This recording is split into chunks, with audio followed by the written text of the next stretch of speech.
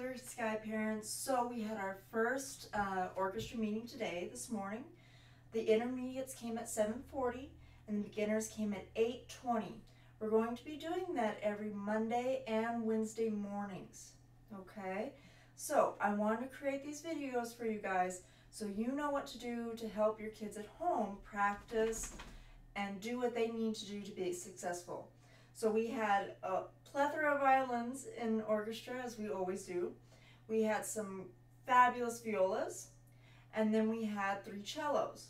So I'm going to be making a video about what we went through in class and what they need to be practicing for next Wednesday. Now, like I said at the beginning, normally I would see you guys on Monday. However, because it's Labor Day, the school is closed. So I will see you next Wednesday morning intermediates at 7.40 and beginners at 8.20. If you guys could get there five minutes early before your time so you could set up and we could start right on time, that would be fabulous. Okay?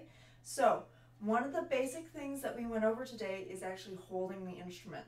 Now with all my violins and violas, I'm actually going to have them stand. The reason being when you're learning how to uh, play the violin, sitting can be really cumbersome for the body. It can actually really distort the lower back too. So it's just healthier for them in general if we remain standing for right now. Okay, so the first thing I want them to know is rest position. We go across the body under the right arm. All right, and we just hold it like this. It gives me room to move my hands, all kinds of fun things. Now, as you kids will remember, I want you guys in rest position when I'm speaking and when I'm working with, you know, other sections of the orchestra or just kind of when we're hanging out. All right?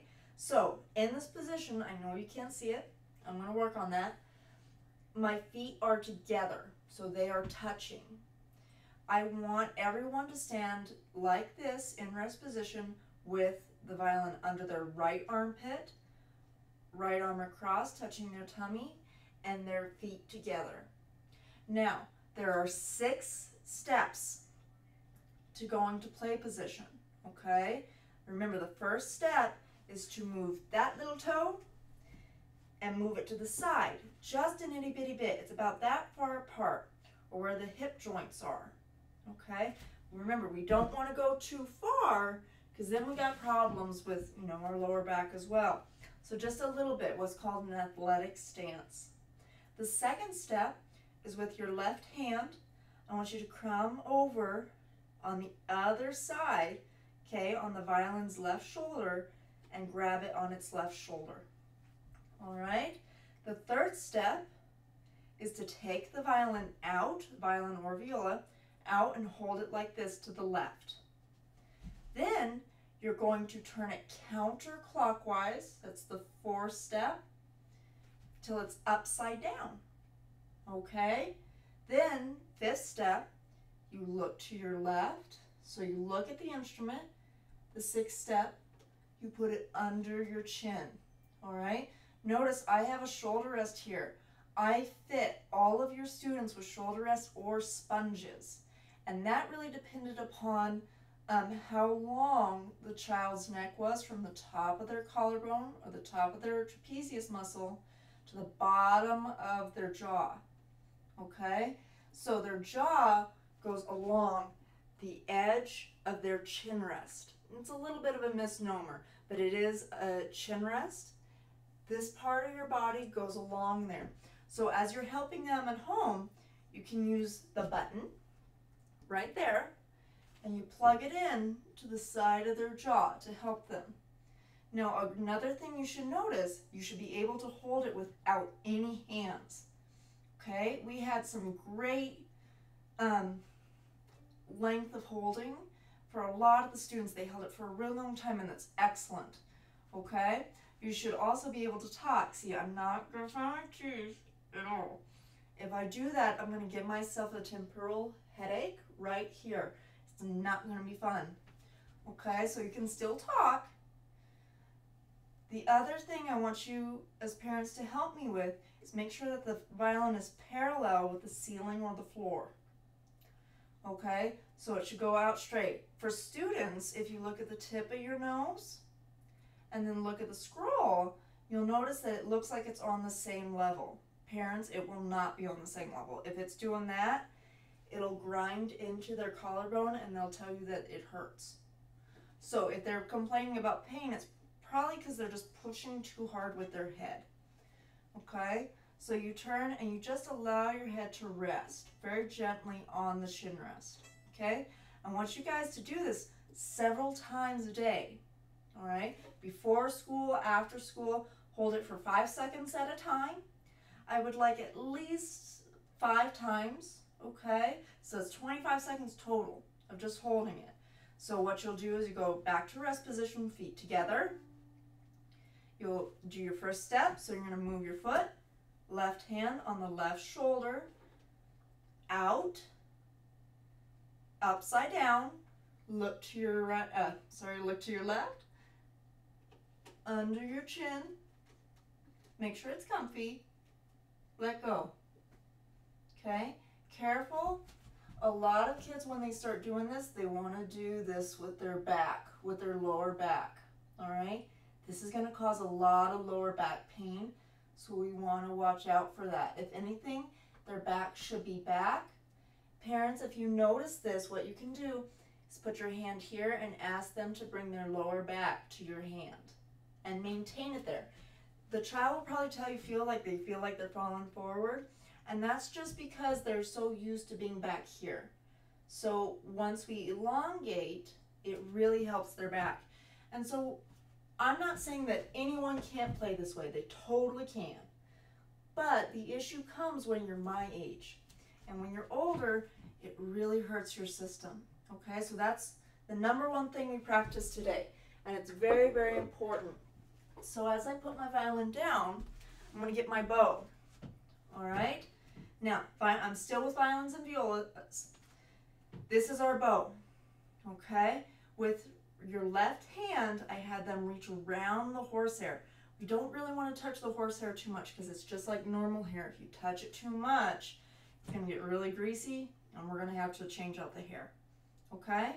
So, you're going to hold it like this. The hair goes towards the left side as your fingers reach around. The frog here, okay? So then you're going to make a bunny. Now, bunny is like a reverse Spock. So it's this way. Then with your thumb, you're going to bend your thumb and curl your fingers, and they're going to go on the very first line. Okay, the very first knuckle. So it's going to roll over, be like a little soft curled bunny's nose. All right, good. So then you bring the bow up, open the bunny's mouth. For right now, I want the students to place their thumb on the silver portion, the ferrule that then they just drop all their other fingers. These two, the middle two, right here, stay together, and then there's a little space between the index finger and the pinky. Okay? Then the next step and the final step is just pull the pinky up on top. And as you'll see here, it's right on top. Okay? That's exactly how I want your bow grip. Thumb on the bottom, nice and bent. There should be a hole here. All right, we're going to go over the importance of that hole next Wednesday. Okay, but just like that, I want 10 bow grips a day. So that's every single day until I see you next. So all we do is hold it with our left hand, bunny, drop, pinky, bow grip. And just hold it just like that, okay? It should be super soft. The stick should hit the finger between that joint and that joint. So the middle section of our finger. All right, good. So the reason I want the thumb on the outside just for right now is because it's a little bit easier for itty bitty hands to be soft. All right, so along with the structure that we want, we want the hand to be super soft, kind of like a cat. Right? If you've ever held a cat, you know that they're just kind of squishy. They just, they don't really have bones. They're kind of wiggly. They're squishy. I want the bow grip to be the same thing. The bow will not fall. If the hand looks like this and the hand is soft, the bow will not fall. If you move the fingers, the bow will fall. okay? So we want it super soft. It's a little bit easier for your kids to have the thumb on the outside for right now to get that softness in their hand. Around Christmas or the holidays, we're going to move that thumb to the inside. All right? That's a professional bow grip. This is also called the Franco-Belgian bow grip if you want to look it up online. All right, this is the standard bow grip for all professionals. All joints should be bent at all times. And then we'll do some more fun things with the bow. Now, the other thing to know about the bow, it's one of the hardest things we've got for the instrument. So I want to start it really early. We will learn to pluck first, so we'll bow, we'll make sound by plucking, and then we'll learn to bow, but I want to get everyone started with practicing that motion so it's really strong when we do it. That is a pluck, and we'll learn to do that next week, okay? Now, for my cellists, okay, there are some great resources for you guys on the Sound Innovations website. So if you go to Alfred Music and you plug in the little barcode on the back of your music, there's a little number and you'll get access to all these wonderful videos. I don't have a cello to show you, but I'm to do my very best, okay? The video's on there. There's also in the book, if you go to page 11, you'll see how to hold the bow with a pencil. Now, a lot of the same bow stuff we just did for the violins and violas definitely counts, okay? And we went over it in class. So let's do it a little bit right now. This is still a violin bow.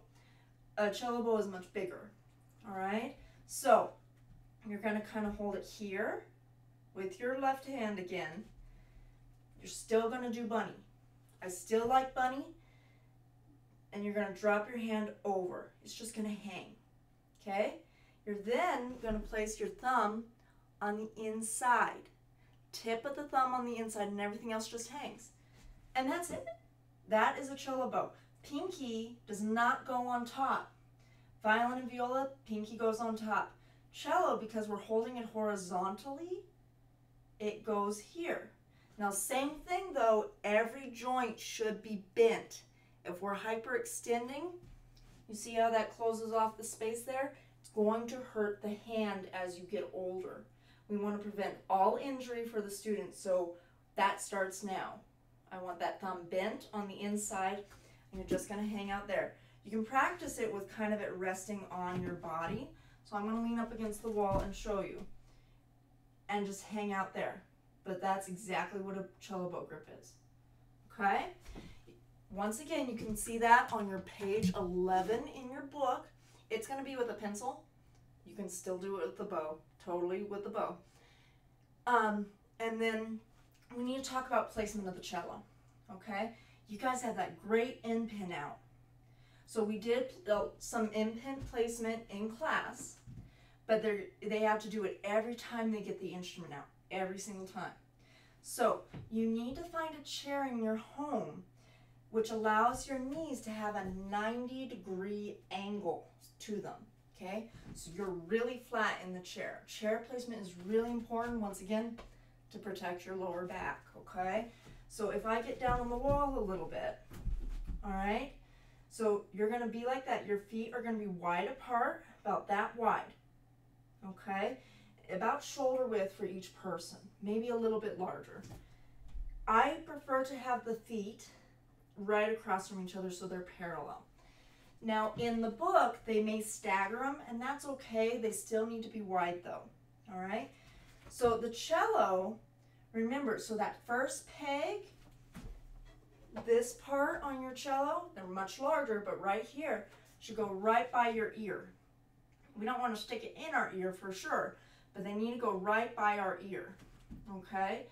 And then the bottom of the cello should be right on that outside of your thigh, right there, okay, right on the knee, all right? So, once again, if you go to the Sound Innovations website, they have videos of a professional cellist showing you exactly what you need to do. I will add links to the email in which I send this video out of the videos there okay? You need to put the code in on the back of your book and you'll have full access to that.